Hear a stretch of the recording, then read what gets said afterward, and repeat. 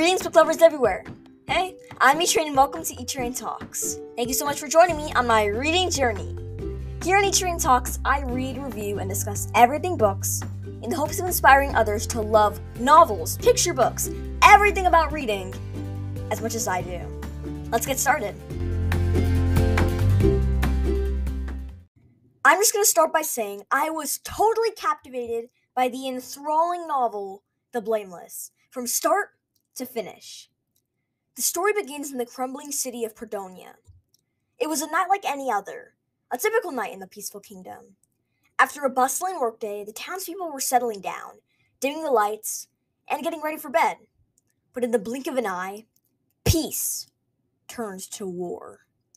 An army of loyal soldiers led by the evil Valak infiltrated the kingdom, slashing and smashing anyone who stood in their way. Valak, fueled by jealousy and rage, had been planning for years and years to take over Predonia, so he could rule the kingdom with an iron fist. And finally, the time had come to lead his brutal attack. Meanwhile, as the invasion was ensuing, 13 year old Princess Brianna was being tucked into bed by her big brother the heir to the throne, and her parents, the king and queen of Predonia. But in an instant, the sounds of piercing screams and dueling swords fills the air. At first, the princess is in shock and too terrified to move, as her parents and brother are slaughtered.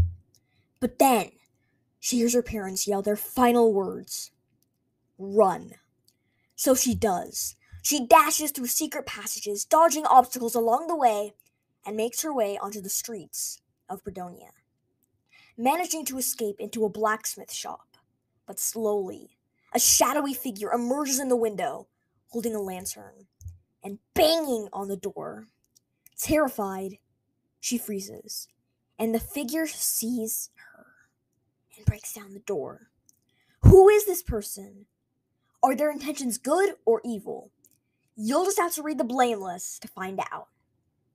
I love all the mystery surrounding the villains, and the heroes for that matter, in The Blameless.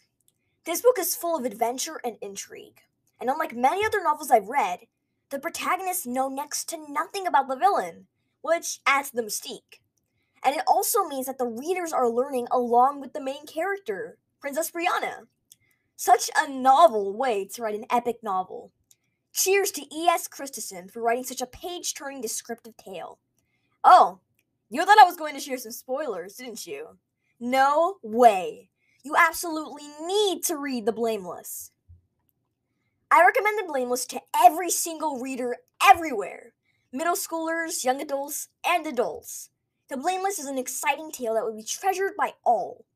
The story is full of classic attention grabbing themes like friendship, acceptance, and family, like many of my favorite novels. And of course, there are battle scenes, tons of adventures, and even some mythology. Such a great read, a 10 out of 10 book. E.S. Christison's writing not only draws readers in on the adventure, but it's a story that stays with you. It's a keeper and now on my list of best reads. That's all for today, everyone. Thanks for listening to my review of E.S. Christison's novel, The Blameless, Book 1. Stay tuned because there might just be an interview with the author in the coming months.